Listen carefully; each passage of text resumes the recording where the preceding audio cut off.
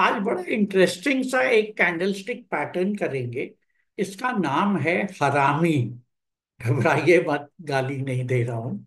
हरामी इन जापानीज में हरामी का मतलब होता है प्रेग्नेंट वुमन तो अब मैं आपको चार्ट पे लेके जा रहा हूँ और ये पैटर्न दिखाता हूँ। ये मैंने आपके लिए ढूंढ के ही पहले से रखा हुआ है। ये है बुलिश हरामी। अब इसके अंदर क्या खासियत होती है? ये जैसे हमने पहले इनगल्फिंग किया था, ये उसके उल्टा होता है।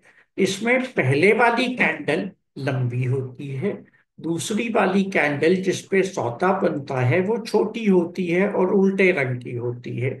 याद ये रखना है कि दोनों की सिर्फ़ बॉडी एक दूसरे से मिलती हो बाहर की शेडोज का फ़र्क नहीं पड़ता है। इसका मतलब यहाँ पे देखिए, ये लाल वाली बॉडी है और ये देखिए, ये हरी बॉडी है जो इस लाल बॉडी के अंदर आ गई है।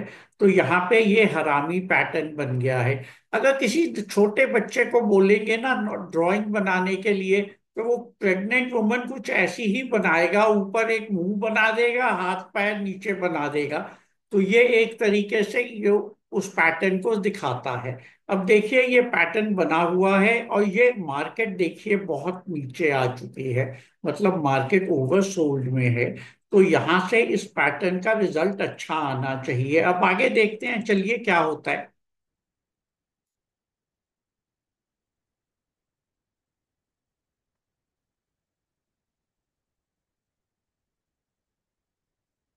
ये देखिए, ये मार्केट यहाँ से निकल गई ऊपर। क्लियरली आपको दिख रही है, ये मार्केट यहाँ से ऊपर निकल गई, ये पैटर्न था, इसकी क्लोजिंग आ गई और जो ही ये हाई कटा तो हम बाय में चले गए। अब मार्केट यहाँ से ऊपर ऊपर ही चल रही है। अब मैंने इसका दूसरा बियरिश पैटर्न भी आपके लिए ढूंढ के रखा हुआ है तो मैं वहाँ पे लेके जा रहा हूँ। ये देखिए, ये बियरिश दिख रहा है आपको, ये बियरिश हरामी है। इसमें क्या हुआ है? ये हरे रंग की कैंडल है। इसके साथ ये लाल वाली कैंडल बनी हरामी की। ये लाल वाली बॉडी इसके अंदर आ गई। लेकिन अब इसके बाद क्या हुआ? यहाँ से मार्केट नीचे तो गई। उसने एक क्लोजिंग भी दे दी जो इस लो से नीचे ही थी। लेकिन ये वाला लो नहीं कटा। इसलिए ये पैटर्न एग्जीक्यूट नहीं हुआ। ये बहुत ज़रूरी है। जब भी हम पैटर्न देखते हैं तो अगले दिन की कैंडल के साथ ही पैटर्न का एग्जीक्यूशन पता चलता है। दूसरी बात, यहाँ पे हाँ बिल्कुल मार्केट ओवरबॉट दिखाई पड़ रही थी। अगर आपको पूरा चार्ट दिखाऊँगा तो आपको भी लगेगा कि मार्केट ओवरबॉट थी। लेकिन यहाँ पे ये कैंडल का पैटर्न बियरिश हरामी का फेल हुआ। क्योंकि कैंडल ने नीचे का लो ही नहीं काटा। इसलिए ये फेलियर हुआ। यहाँ पे देखिए, यहाँ पे क्लोजिंग हुई। उसके बाद अगली कैंडल भी ठीक बनी और हाई करते ही मार्केट बाय में चली गई। अब ये आपको बड़े अच्छे से दोनों पैटर्न दिखने लग गए हैं।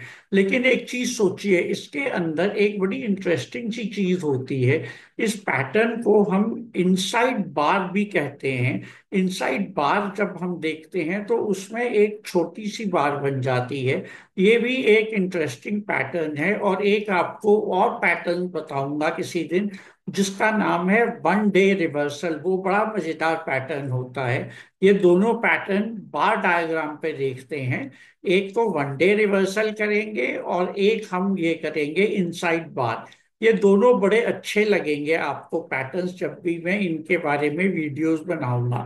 Thank you so much. नमस्कार।